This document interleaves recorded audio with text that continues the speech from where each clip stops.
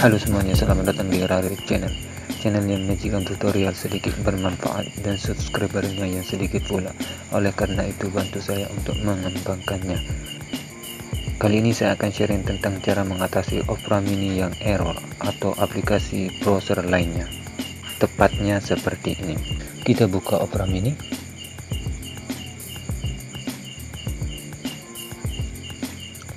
Ya langsung muncul notif seperti ini Cara mengatasinya adalah ceki bro. Caranya adalah kita cari yang namanya run. Kita tuliskan di sini run. Kemudian kita klik.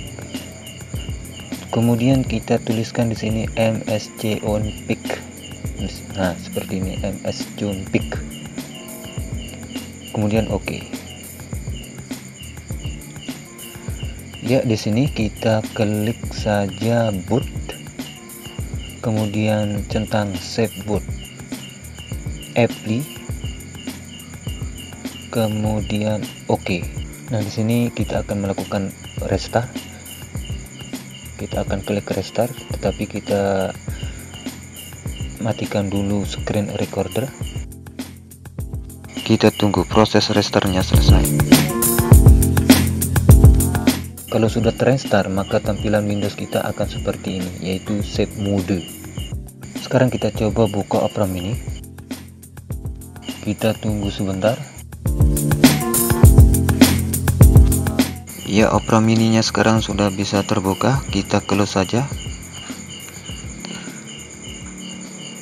Kemudian kita akan kembali ke tampilan awal dengan klik run seperti tadi run kemudian MSN config MSN config config ya kemudian boot hilangkan centang save boot apply oke. Okay. kemudian kita klik restart. Kita simpan dulu.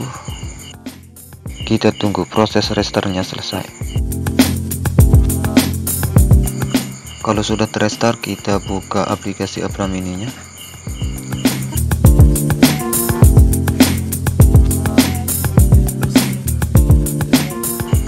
ya sekarang sudah bisa terbuka kembali. Jadi sampai di sini tutorial kali ini mudah-mudahan bermanfaat. Apabila ada yang ingin ditanyakan silahkan dikomentari terima kasih